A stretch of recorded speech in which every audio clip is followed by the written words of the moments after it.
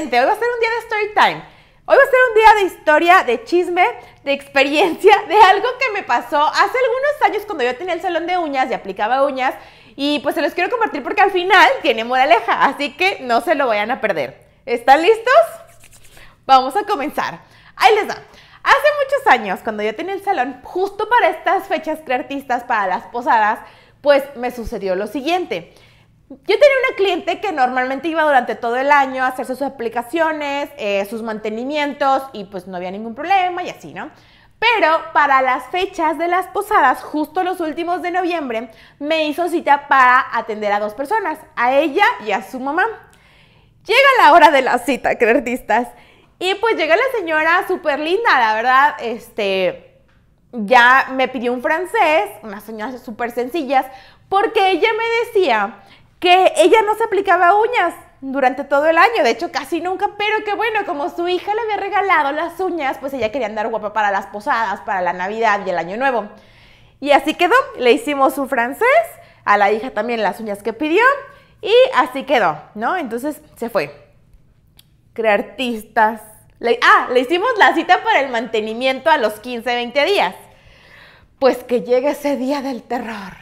¿Y qué creen? Pues que ya llega la señora, se siente, empezamos a platicar, que sí, que el mantenimiento, ay señora, sí trae bien las uñas, no trae desprendimiento. Obvio, éramos Laura Tagle y Karina Casas. Saludos a Karina que seguramente me está viendo. Entonces, pues no traía bien las uñas, pero había que hacerle el mantenimiento. Cuando agarramos la máquina pulidora y empezamos a retirar acrílico y a limar esas uñas, no, no manches, o sea, casi nos vomitamos artistas porque olía horrible, olía horrible. Y cuando le vamos dando vuelta la mano, pues, ¿qué creen que era? Carne molida echada a perder, artistas, no, o sea, no llevamos cómo decirle a la señora que qué era, o sea, yo creo que tenemos más vergüenza de nosotras que la señora, pero la señora no sabía qué onda. Ay, fue un momento así como de confusión, de chin, chin, ¿qué hago? ¿Cómo le digo, no? Entonces, pues como pude le dije, oiga señora, porque es más, porque ella misma como que dijo que olía raro. Y ya le pregunté qué era lo que traía debajo de sus uñas.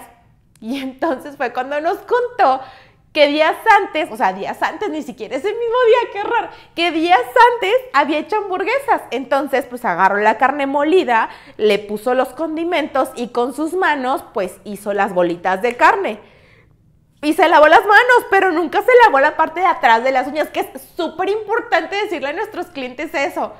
Entonces, pues la carne obviamente se echó a perder, ya habían pasado varios días y pues olía así horrible, desagradable y pues lo único que tuvimos que hacer fue limpiar con una punta especial, algunos de ustedes ya la conocen, es una punta cónica, la parte de atrás, para rebajar toda esa carne podrida asquerosa que traía. Entonces, artistas, pues bueno, le explicamos a la señora, y es aquí donde entra la moraleja, sobre todo para estas fechas, porque muchas personas van a aplicarse uñas nada más en estos días festivos, para las posadas, para las fiestas, y no están acostumbradas a traer las uñas acrílicas o uñas artificiales, y pues no saben qué cuidados deben de tener, ¿están de acuerdo? Entonces yo les recomiendo a todos ustedes que si detectan a la hora del chisme, ustedes saben que a la hora de aplicación sale el chisme, oye, ¿a qué te dedicas? Oye, ¿qué haces? Oye, y esto. Bueno, ahí mismo, cuando nosotros sepamos que es alguien nueva, que no está acostumbrada, pues hay que explicarle, oye, mira, el mantenimiento es a los 15, 20 días, eh, no abras las latas de refresco con tus uñas, este, no sé, todos los cuidados que debemos de tener con ellas, ¿no? No agarre las tortillas calientes con las uñas, ese tipo de cosas, porque la gente no lo sabe. Nosotros sí lo sabemos y se nos hace así como que, ay, ¿cómo que no sabe? Pues no, las personas no lo saben. Entonces, este nosotros informarles para que no sucedan ese tipo de cosas, porque al final las que la pagamos somos nosotras. De verdad olía súper mal. Tuvimos que, obviamente usamos el cubrebocas, pero yo quería ponerme triple cubrebocas en ese momento. Entonces, ahí está la moraleja artistas, ya saben, a todas nuestras clientas, si es la primera vez que se aplican uñas de, eh, de acrílico o de gel, hay que explicarles cómo limpiarlas. Espero que les haya gustado este story time. Si les ha pasado algo así, pues bueno, déjenlo ahí abajo en los comentarios. Cuéntenos qué experiencias han tenido. Y yo les voy a estar compartiendo más historias de terror de este tipo porque, ¿qué creen? Tengo muchísimas. Así que esperen los próximos videos, ¿vale? Las quiero mucho y nos vemos en el siguiente video.